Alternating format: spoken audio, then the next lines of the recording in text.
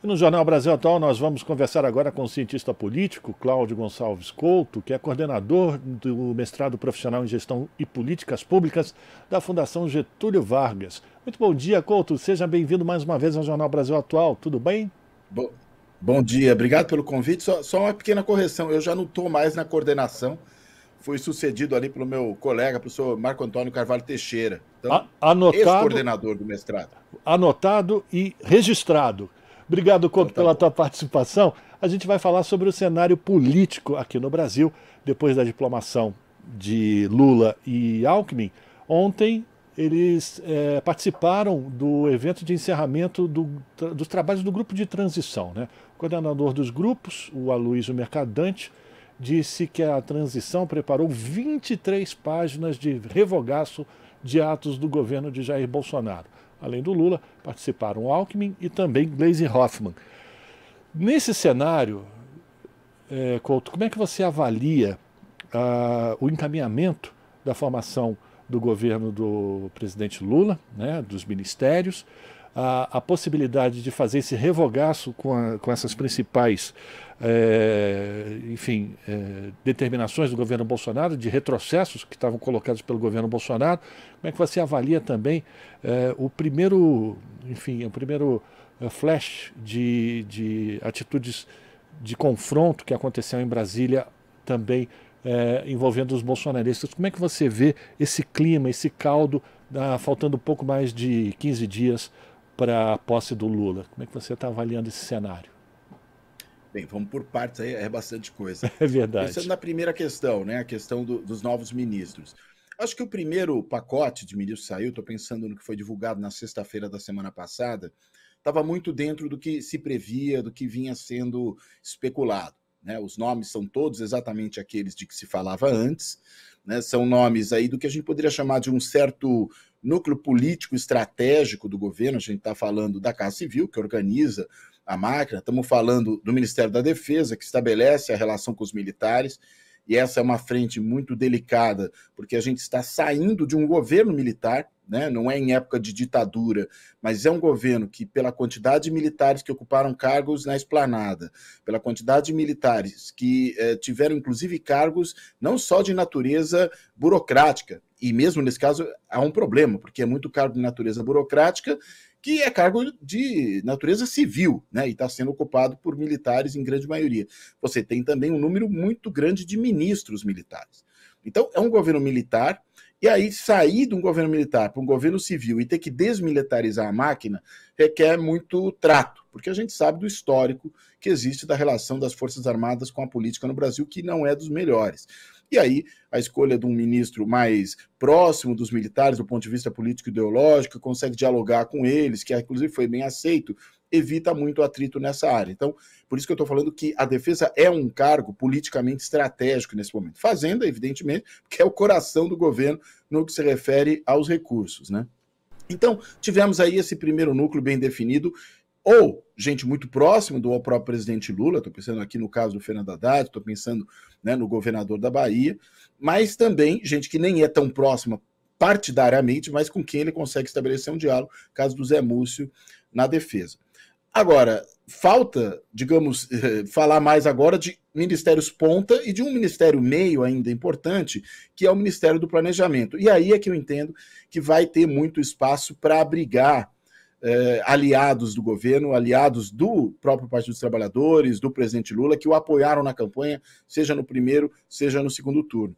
E nesse caso, entendo que a grande incógnita recai sobre o papel que vai caber à senadora Simone Tebet, né, que teve, inegavelmente, um papel muito importante no segundo turno da campanha. Isso até foi mencionado pelo Lula numa declaração ontem. É, só que é uma declaração, digamos, que é, deixa margem para uma certa dúvida, né? O que, que ele quis dizer com aquilo, né? Ao agradecer a Tebet pelo papel importante dela. É, quis, quis, dar um tchau do tipo, olha, é, foi muito bom estar com você nesse momento, mas agora seguimos separados, ou foi na realidade um reconhecimento no sentido de abrigá-la no governo? Eu acho que ficou uma ambiguidade. Isso é importante porque não só estabelece a relação com o MDB, estabelece a relação com um certo centro, uma centro-direita, que teve na Simone Tebet uma representante política no primeiro turno da eleição, né, como também dá mais para esse governo um caráter de uma frente ampla, de governo que, como o próprio Lula disse, né, num, num discurso que ele fez ainda antes da eleição, no Tuca, em São Paulo, eh, não será um governo do PT, mas será um governo de vários aliados. E aí eu acho que a Simone Tebet é um pouco a cara do que significa esse governo com vários aliados. Então, do Ministério, acho que é isso, e claro, não pode se deixar de falar né, do nome muito positivo da Margarete Menezes, né, como uma representante da cultura, alguém que realmente é da cultura, no Ministério da Cultura, além de se tratar de uma, uma ministra que consegue ter uma representatividade social muito grande. Né? Uma ministra mulher, uma ministra negra, né? e isso tudo também tem muita significação, tanto que tem sido um tema na discussão da composição do ministério. Passando é, para outra página. O que a gente viu em Brasília, né, nessa semana, e sobretudo né, no dia da diplomação, é algo de uma gravidade imensa né? sobretudo caso venham a se confirmar informações que uma fonte teria passado à revista Fórum, né, dando conta de que o próprio Gabinete de Segurança Nacional, o GSI, liderado pelo general Heleno, né, ele estaria por trás desses atos de terrorismo, porque aí isso deixa de ser só terrorismo e vira terrorismo de Estado, o que é ainda mais grave. Né? Então, é muito sério. A gente viu uma grande complacência por parte das forças de segurança do Distrito Federal, só depois de muito tempo do quebra-quebra, do vandalismo, do terrorismo, do terror, do terror sendo tocado ali, é que resolveu agir. Né? Tinha gente querendo jogar ônibus de cima de viaduto. Né, tacando fogo em ônibus com gente dentro, com motorista dentro, apedrejando ônibus com passageiro. Né? Quer dizer, é, é, algo de uma gravidade imensa, jogando rojão em cima de outras pessoas, atirando pedra no prédio da Polícia Federal. Olha, é tudo muito grave e envolvendo o governo deliberadamente nisso é ainda mais grave. Mas mesmo que não envolva, mesmo que isso não se comprove, a gente ainda tem um outro problema, que é a omissão, a conivência do atual governo com esses atos, ou seja, um governo que continua apostando no golpismo, continua apostando na desestabilização da política nacional para permanecer no poder, ainda que às custas da própria democracia. Então é esse o cenário que a gente está vivendo. Né? O governo Bolsonaro está entregando exatamente o que se poderia esperar dele. Né, que é essa balbúrdia, esse caos, essa, esse ataque, né, esse desrespeito ao Estado Democrático de Direito.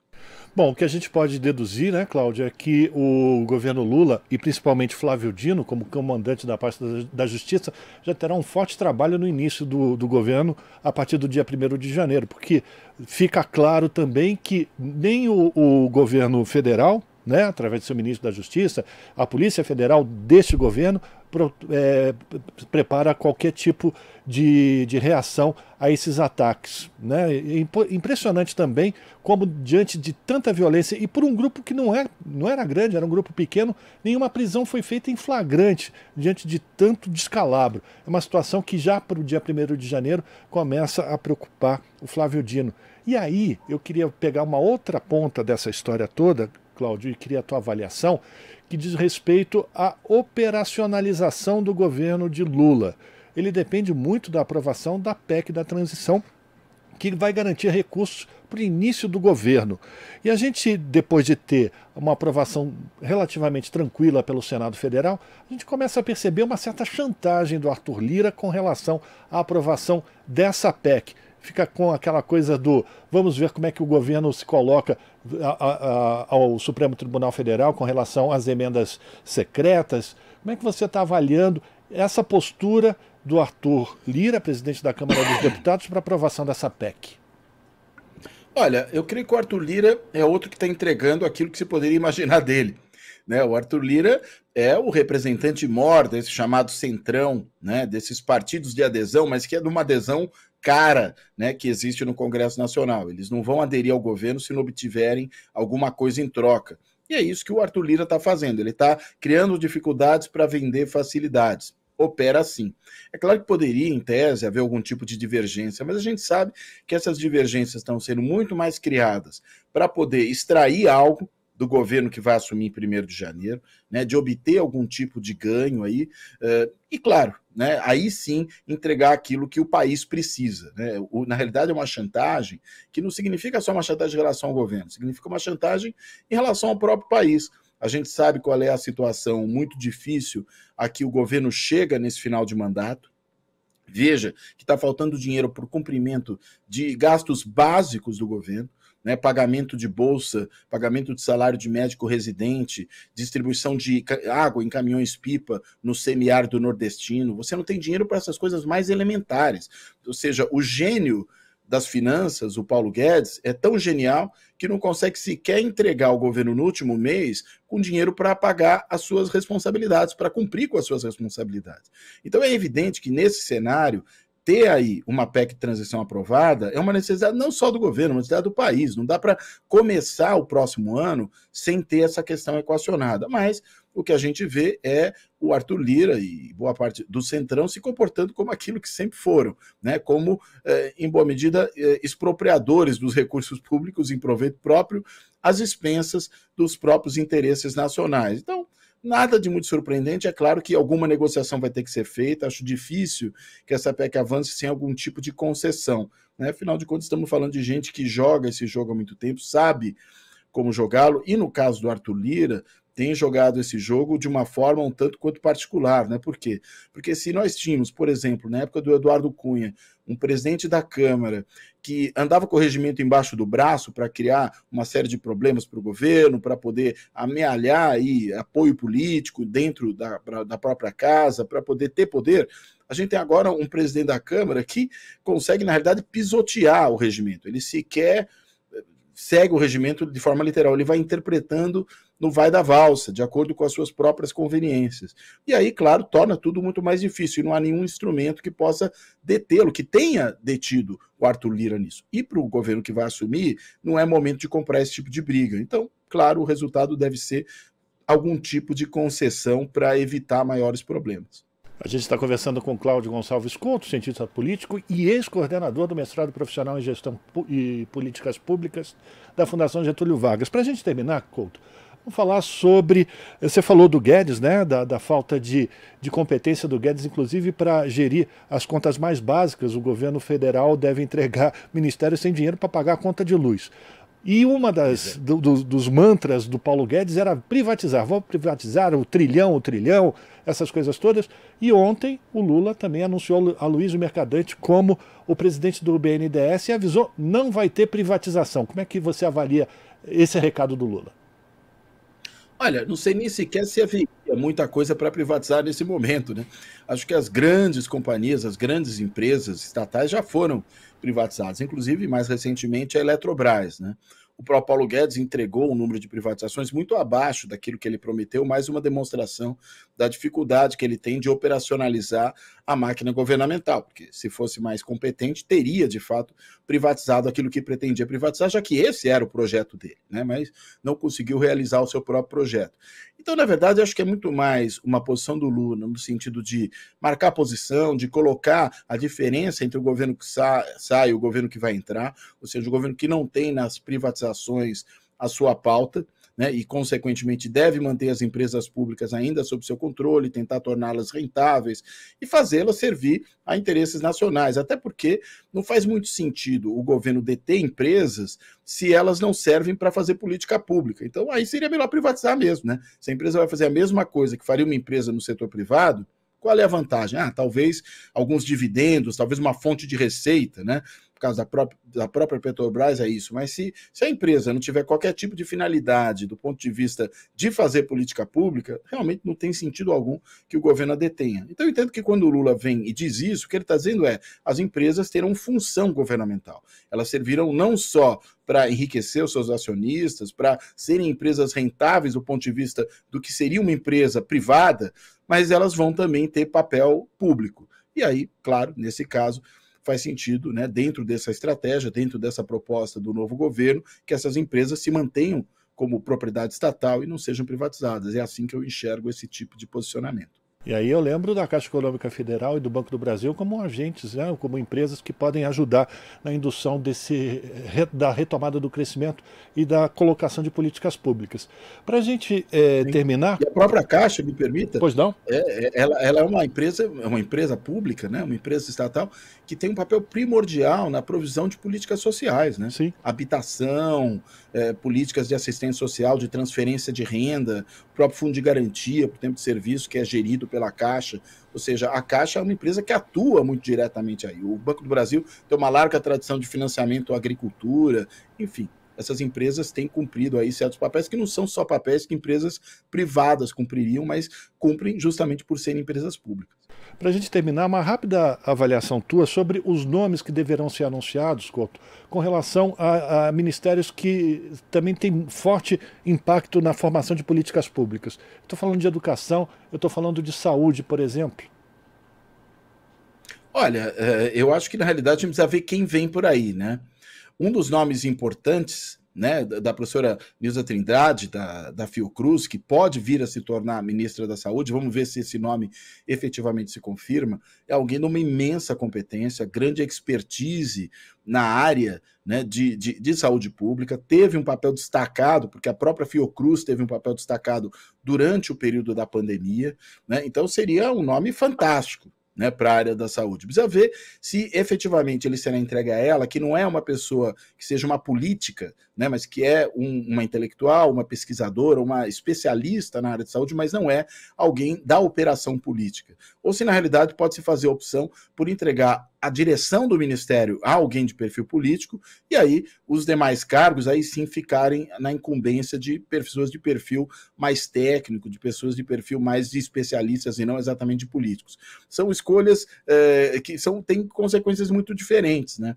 Porque a técnica, claro, numa democracia não pode se sobrepor à política. A política utiliza a técnica. Agora, claro, né, que não quer dizer que em alguns casos ministérios não possam ter ministros com esse perfil. E evidentemente que isso também pesa do que, no que diz respeito à questão do tipo de negociação que você vai estabelecer com os parceiros da coalizão. Né? Porque o ministério entregue a alguém que não pertence a qualquer partido ou que não representa um partido da coalizão, é um ministério a menos para você poder fazer a acomodação necessária para a construção da própria coalizão. Então, são cálculos desse tipo que estão sendo feitos. Mas, claro, né, o, o, nome, se não for do ministro, que seja dos outros, das outras pessoas que venham a compor o ministério, tem que ter, claro, afinidade com aquela área. No caso da educação, a gente tem um exemplo da mistura entre esses dois tipos de problema. Né? Nós temos é, uma discussão toda sobre se o ministério vai ficar é, com uma figura de proa do PT, né? Estamos pensando aqui, por exemplo, no governador, né, ex-governador é, do Ceará, né, que, que sai agora, que se elege é, senador. Agora me escapou o nome dele, me deu um branco aqui agora. Camilo. É... Poxa. Camilo. Enfim, me fugiu. Camilo. O Camilo, Camilo Santana. Obrigado. Realmente, o final de ano a gente começa a memória a, a, a falhar. Né? Ou se vai né, para a governadora do Ceará, que é uma figura importante na área da política de educação, né, foi a grande responsável pela implementação e pela formulação daquela política de educação muito bem sucedida na cidade de Sobral, que acabou virando até um modelo, né, a gente fala no modelo Sobral de educação, né, que depois se expandiu para o estado inteiro, né, que ocupou a Secretaria de Educação na área, ou seja, é uma figura tida em quem atua na área de educação como uma pessoa é, tremendamente competente para tocar essa frente. Agora, hoje está num certo limbo partidário, né? Saiu do PDT por conta daquela confusão que o Ciro Gomes aprontou no PDT do Ceará, não ingressou em nenhum outro partido, né? Tem ali algumas restrições que me parecem profundamente equivocadas, né, ao nome dela por conta de associações que faz, de, de cooperação que estabelece com entidades é, do terceiro setor. No caso aí estou falando da Fundação Lema. Me parece que existe aí muito mais um tipo de patrulhamento ideológico, um certo preconceito do que propriamente uma avaliação concreta do que significa esse tipo de parceria, mas que no fim das contas, enfim, é uma figura que, se eu vier ocupar o Ministério da Educação, é de imensa competência. Tanto que o próprio Camilo Santana, né, a quem foi oferecido o Ministério da Educação, diz: olha, eu prefiro que não venha para mim, que vá para ela. Né? Se o próprio Camilo Santana, né, que é um quadro do PT, está afirmando isso, né, por que ficar com esse tipo de eh, carnaval, com esse tipo de questionamento que me parece muito mais fundado em preconceito do que propriamente no entendimento do que significa fazer política em determinadas áreas, inclusive política da educação, e que implica, consequentemente, um entendimento não só com os atores estatais, mas também com os atores da sociedade civil, inclusive ligados ao mundo empresarial, que estão investindo nesse setor para fazer pesquisa, para desenvolver novas formas de atuação, né? e me parece que é isso que é, é, a, a governadora pode proporcionar, e daí o seu nome ser um nome tão forte. Mas estamos muito em aberto, né? Se o Lula até agora não anunciou e está segurando, e já vai gerando uma certa ansiedade, é, a gente fica aqui muito, às vezes, sendo obrigado a especular sobre o que podem ser esses nomes, aí pode falar muito mais do jogo que está acontecendo do que propriamente do significado de quem vier ocupar esses cargos. Só uma vez ocupados os cargos, definidos os nomes, é que a gente pode fazer assertivos mais claros sobre o que vem pela frente. exatamente sobre isso, a gente já está com tempo estouradíssimo, Couto, mas eu queria uma avaliação tua sobre a importância da data de apresentação de todo o Ministério do governo Lula, eh, com essa questão da previsibilidade, para a gente poder ter uma ideia do que será o, o, a próxima gestão. Você acredita que até o final dessa semana o Lula fecha esse ministério? Não tenho certeza, né? Porque está tudo tão é, é, incerto, né? Tem tanta dificuldade aí, tem muita demanda para pouca oferta, né? Você tem muitos partidos da aliança eleitoral que devem integrar o governo demandando posições diferentes e não tem como é, acomodar todo mundo e, e mais do que isso, contemplar todo mundo. Tem gente que vai sair insatisfeita desse processo. A questão é saber o quanto custa em satisfazer alguns ou em satisfazer outros, pensando nos quatro anos de governo, né? Porque você tem que ter uma base de sustentação. E aí, claro, tem uma, um cálculo difícil aí. Então, seria bom, claro, se pudesse definir o nome até o final dessa semana. Depois a gente começa já a entrar nas vésperas do Natal e aí tudo fica mais complicado. A gente já terminou o trabalho da equipe de transição, né? Você até começou falando disso e acho que essa é uma questão importante. Ou seja, se já acabou o trabalho da transição, agora tem que pensar em quem vai ser a equipe. Né? A gente já tem até no caso da economia, por exemplo, da fazenda, definição até de pessoas que não são o próprio ministro, que já são outros cargos, cargos de secretário, né? secretário executivo da pasta, que já foi definido, que é o Galípolo, né? o secretário especial para a reforma é, tributária, que é o Bernardo da Pique, é o melhor nome imaginável no Brasil para tratar desse tema. Então, acho que é uma escolha tremendamente feliz do Fernando Haddad. Mas nos outros casos, a gente não tem sequer o nome do ministro e não sabe se vai ter essa semana. Seria bom definir isso logo, porque, inclusive, você dá a esses ministros indicados a possibilidade de já irem compondo as suas equipes, né? E pensando, inclusive, em como agir no revogaço, né? Você também falou, acabei não mencionando isso na resposta que te dei no, mais no começo, né? Tem muita medida do atual desgoverno que precisa ser revogada. A gente teve um governo de destruição nacional. O próximo governo será um governo de reconstrução nacional, portanto. E ter as equipes formadas é primordial para que esse processo de reconstrução comece. E a gente já está com o tempo estourado e esse já pode ser a pauta para o nosso próximo encontro, Cláudio. Muito obrigado pela tua participação. Conversamos aqui com Cláudio Gonçalves Couto, cientista político e ex-coordenador do mestrado profissional em gestão e políticas públicas da Fundação Getúlio Vargas. Aqui você ouve as notícias que os outros não dão. Jornal Brasil Atual.